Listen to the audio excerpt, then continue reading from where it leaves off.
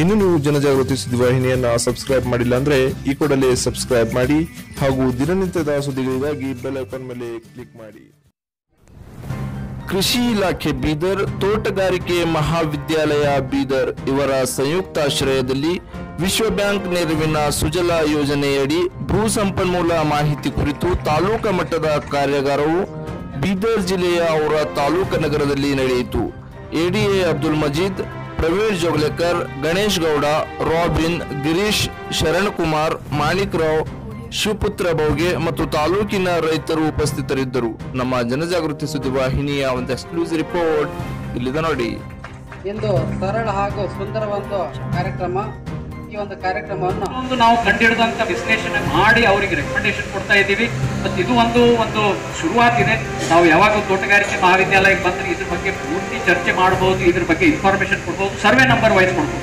ಇದು ಒಂದು ಈ ಹಂತದಲ್ಲಿ ಇದೆ. ಬಹುಶಃ ಇನ್ನು ಒಂದೆರಡು ವರ್ಷ ಆದ್ರೆ ನೀವು ನಮ್ಮ ಕಡೆ ಬರೋದು ಬೇಕಾಗಲ್ಲ. ನಿಮ್ಮ ನಿಮ್ಮ ಹಳ್ಳಿಯಲ್ಲಿ ಎಲ್ಲೆಲ್ಲಿ ರೈತ ಸಂಪರ್ಕ ಕೇಂದ್ರಗಳಿದೆ, ಅಲ್ಲಿ ಒಂದು ಡಿಜಿಟಲ್ ಪೋರ್ಟಲ್ ಅಂತ ಅವರು ಸ್ಥಾಪನೆ ಮಾಡ್ತಾ ಇದ್ದಾರೆ. ಈ ಯೋಜನೆ ಅಡಿಯಲ್ಲಿ ಅಲ್ಲಿ ಹೋದ್ರೆ ಯಾರೋ ಒಬ್ರು ಸಹಾಯಕರು ಇರ್ತಾರೆ ನಿಮ್ಮ ಸರ್ವೆ ನಂಬರ್ ಅಂತ ಹೇಳಿದ್ರೆ ಅದ್ರ ಪೂರ್ತಿ ಡೀಟೇಲ್ ಜಾತಕನೇ ಬಂದ್ಬಿಡ್ತದೆ ಅದ್ರ ಬೇಸಿಸ್ ಮೇಲೆ ಇಲಾಖೆದವರು ಸಹಾಯ ಮಾಡ್ಬೋದು ಅಥವಾ ನೀವೇ ಒಂದು ಇದು ತಗೋಬಹುದು, ನಿರ್ಧಾರ ಮಾಡ್ಬೋದು.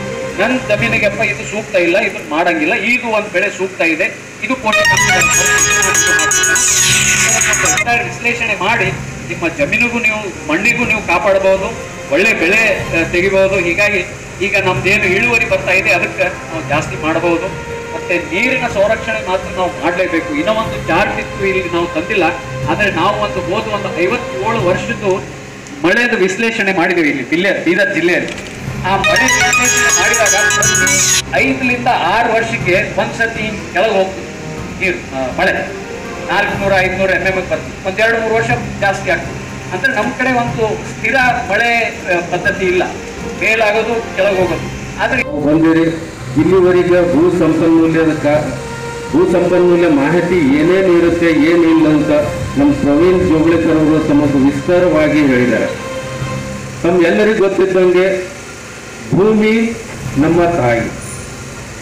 ಭೂಮಿಗೆ ಸಂರಕ್ಷಣೆ ಮಾಡೋದ ನಮ್ಮ ಮೊಟ್ಟ ಮೊದಲನೇ ಕರ್ತವ್ಯ. ಆದರೆ ನಾವು ಅದು ನಾವು ಮಾಡ್ತಾ ಇಲ್ಲ ಈಗ ಸದ್ಯ ನಮ್ಮೆಲ್ಲರಿಗೂ ಆ, ನಮ್ಮ ಹಿರಿಯವರು ಇಲ್ಲಿ ಎದುರುಗಡೆ ಕೂತಿದ್ದಾರೆ.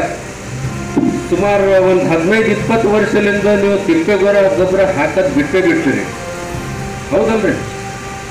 ಯಾಕೆ ಬಿಟ್ಟಿರಿ ದನ ಇಲ್ಲ. ದನ ಯಾಕಿಲ್ಲ ಮೇವು ಇಲ್ಲ. ಮೇವು ಯಾಕಿಲ್ಲ ನೀರಿಲ್ಲ ಮಳೆ ಇಲ್ಲ. ಮಳೆ ಯಾಕಿಲ್ಲ ಗಿಡಗಳಿಲ್ಲ ಎಲ್ಲ ಕಟ್ ಮಾಡಿ ಮಾರ್ತಾ ಇದ್ರಿ